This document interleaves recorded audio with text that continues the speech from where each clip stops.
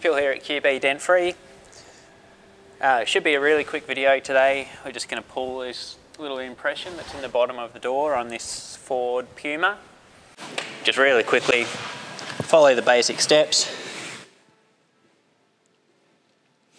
We've sized our tab to fit just inside of the damage there. I probably actually wanted the slide hammer for this, but here we are now. I do want the slide hammer for that. Really quick little pull. And snap that tab back off it.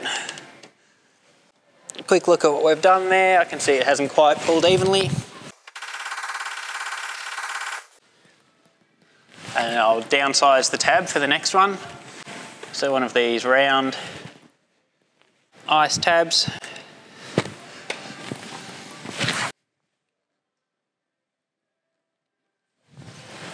And again, I'm going to pull this quite quickly rather than let it set up for too long.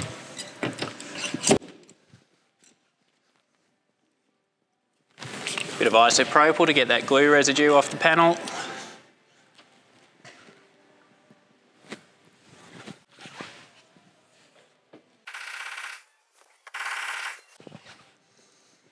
That's moved a little bit more of the steel.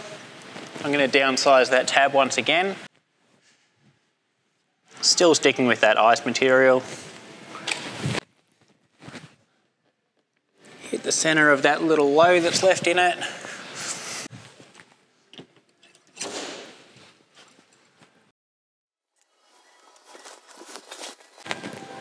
Perfect.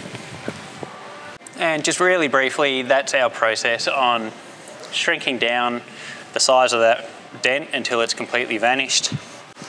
You can see there, three pulls, three different tabs.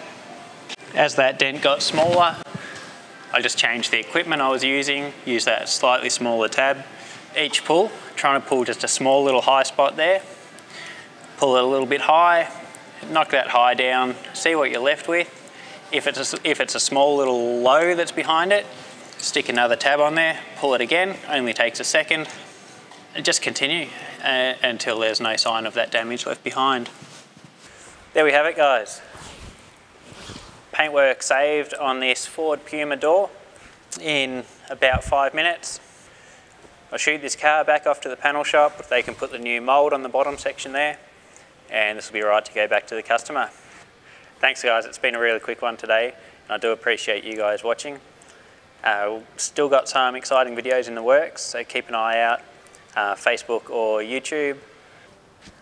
I'm going to try to keep bringing out more regular content, uh, keep you guys entertained. Do let me know if I've skipped over something or if I keep referring to something you guys aren't sure about. Uh, I'll make sure I explain it in a later video for you.